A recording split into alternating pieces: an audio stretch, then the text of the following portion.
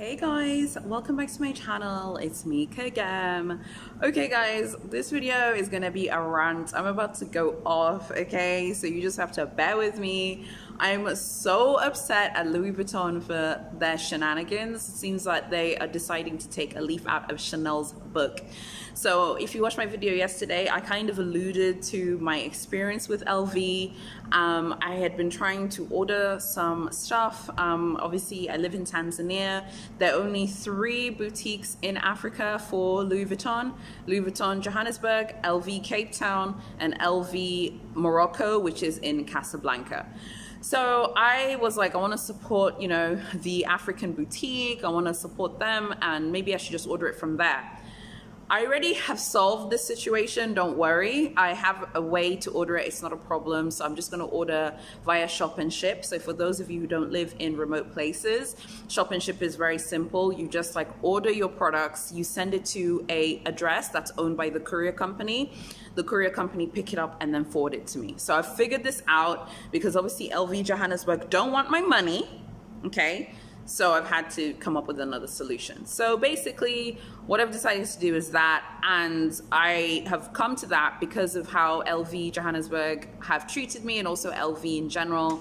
So I had sent some emails before and they were like, yeah, we can't make this happen. And then they were like, oh, actually, hold on, we can like forward your request to LV Johannesburg and they'll get back to you. And initially I was like, should I call? They're like, no, no, no, you don't need to call. We'll call you. I'm like, okay, fine. Or we'll email you. So I waited to get the email and then I got the email and the email to me, I'm just like, I just feel like luxury brands don't really understand that how, how much they're missing out on big opportunities. I'm not saying I'm like a top dog or a big shot. I'm not saying that. But I read her email from this woman. I don't want to say her name. And it was properly from a, an employee of LV Johannesburg saying, hey, like, thanks for reaching out. We're sorry for the delay in getting back to you. We cannot ship. We don't ship abroad. We don't ship to any other countries. If you need any more help, reach out to me. It's like, why even bother sending the email like that though? Why even bother saying that? Because you don't even want to help to make it happen. So why bother? It's just so fake. It's so stupid. It's so pretentious. I read that email. I was really disappointed because I think I said in my previous video, I wanted to order the Alma BB for my mom. I wanted to also order the Dauphine MM and I wanted to pick up a few other bits and bobs from LV for myself. And critically, which is the most important thing, my husband's birthday present. This is what I've been trying to organize. It's in that LV like group there and his birthday's coming up in a few weeks so I have got to get this thing ordered so here's me thinking I'm doing the right thing by like supporting the South African um, boutique but turns out that no one there wants my business and they don't care so I went on the um, LV website today and just checked like the details of the Johannesburg boutique. It's in Sandton City. I've seen it before when I've been to Sandton City. The one in Cape Town is in this um, place called the V&A Waterfront. So on the Johannesburg bit, it says how they're doing appointments only. So you can't just walk into the boutique, you need an appointment. And I'm like, that's fine. That's probably for C19 because they definitely didn't have appointments before. And I know that to be true. But I'm just like, I just can't believe that you didn't even want to make this happen. For those of you who aren't from Africa, I feel like I need to explain a few things to contextualize why this is so irritating. Johannesburg is the center of tourism, like luxury shopping tourism in Africa many African people from all over the continent love going to Johannesburg for the weekend to go shopping.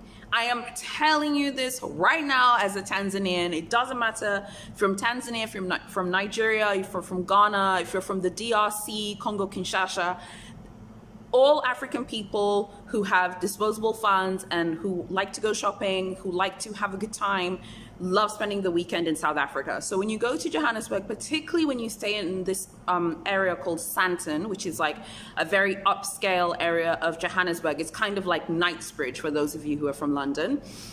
You will always find other African people like, hey, I'm from the DRC. Hey, I'm from Kenya. Hey, I'm from Tanzania. Or hey, I'm from Nigeria. I'm from Ghana. I'm from Cote d'Ivoire and I just think it's so wild to me how they didn't even want to consider trying to make it happen. My motto this year is I'm the queen of making things happen. Like I will make it happen. I'm going to do what it takes to be successful, to be happy, but I'm not going to take no for an answer. I think it's so wild and crazy that they think that this behavior is okay. I'm so disappointed in LV for this. I'm actually really, really ticked off at their customer service. It's terrible. So for anyone who is dealing with LV and you have to like send emails and stuff, don't bother dealing with these people via email. They're not serious. They don't care. They don't want to help or make anything happen.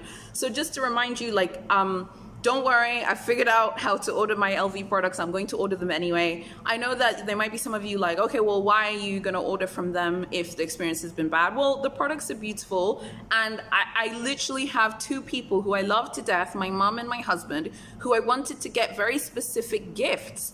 And I had, I was like complaining about this in a luxury fashion group that I'm part of on YouTube, um, not YouTube, let's say YouTube, that I'm part of on Facebook and they were like, haha, you know, they're like laughing at me, commiserating but laughing because they just know these shenanigans from LV.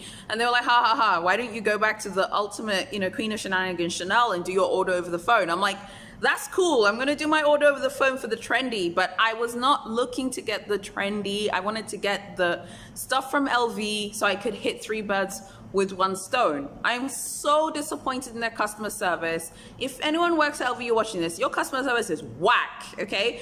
Don't tell someone that, hey, we can't like service you, we don't want your business, and then you're like, oh, by the way, let us know if there's anything we can do. Well, obviously you don't wanna do anything, you don't wanna make it happen. By the way, as someone who does miss business, I am not a time waster. I would never have reached out to them if I wasn't sure that I was going to buy. Like, I'm not that person. I don't need to like reach out to them. Of course, there are all these like annoying window shoppers. As someone who used to own a boutique, we used to get them all the time.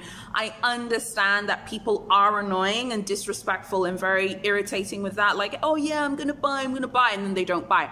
I'm not like that. I was so disappointed and mad at LV for this because I think that they're missing out on a huge opportunity particularly because they have three boutiques in Africa. So imagine for those people who live in Morocco, let's say someone lives in like, um, I'm trying to think of a country that's close to Morocco. Okay, for example, let's say someone lives in West Africa.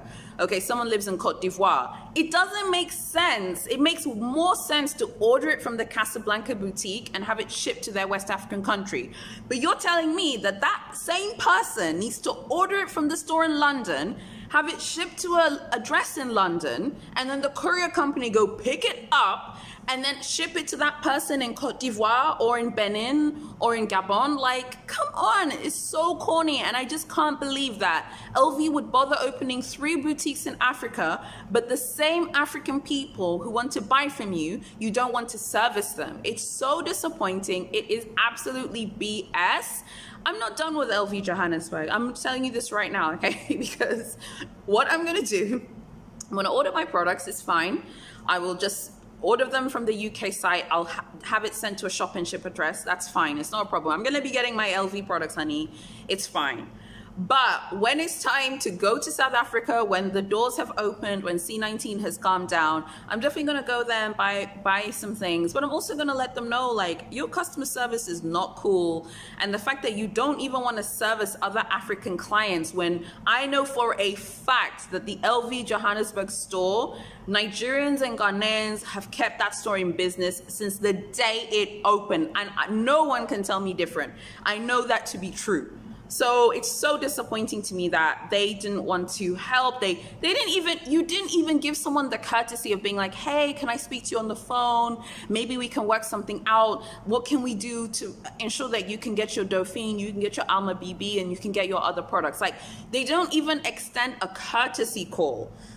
This is so whack. LV, you're whack for this. I am so annoyed about this and you know, some of you might be like, okay, well, why would you like make a video about it? it might ruin opportunities for your channel. Guys, I'm, I'm not doing this channel for money. I'm doing this because I love shopping. I love luxury brands and I'm going to talk about things which I want to talk about. I'm not worried about ruining an opportunity for sharing an opinion of something which I have experienced.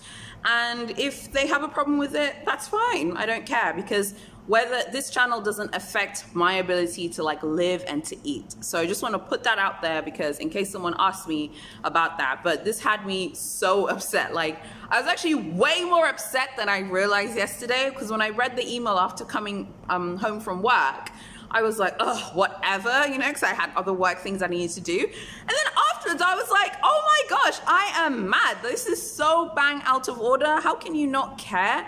And I think it's just the flippant way they write their emails. Like they they have like this form thing, and then you can see they just edited it. Like, hi Kagem, sorry for the delayed response. No, we cannot ship to any other country um, outside of like South Africa for Louis Vuitton Johannesburg. Please let me know if I can help you again. It's like you don't mean it though. You don't actually mean it. This is stupid. LV um, customer service is terrible. You guys are whack for that and very, very disappointed, like more disappointed than I realized. I'm just venting and sharing my opinion. You can share your opinions, share your experiences with luxury brands. Tell me how have your experiences been? Have they been good? Have they been bad? Of course, you have good and bad experiences with most things in life, which is fine. I'm just really shocked at the inability to try and make things happen.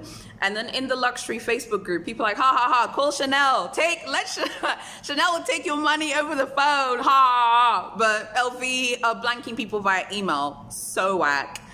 If you like this video, please make sure you give it a thumbs up. Drop me a like, guys. I'm trying to get to like at least five likes per video at the moment because I'm trying to grow my channel please drop me a like, subscribe to my channel, hit that bell if you love shopping, luxury brands, high street, all that jazz. I'm mad as F. I've got another video coming tomorrow. Um, it's actually almost the end of January because the final week of January next week. I did say in January I'll be doing one video a week. Um, one video a week. I'll be doing one video a day except for Sunday. So it's been an interesting experience creating so, so much content. But after January, I'll go back to my regular schedule of three videos a week. So please make sure you subscribe and let me know your feelings in the comments because a girl is mad, okay? And I'll see you in my next video.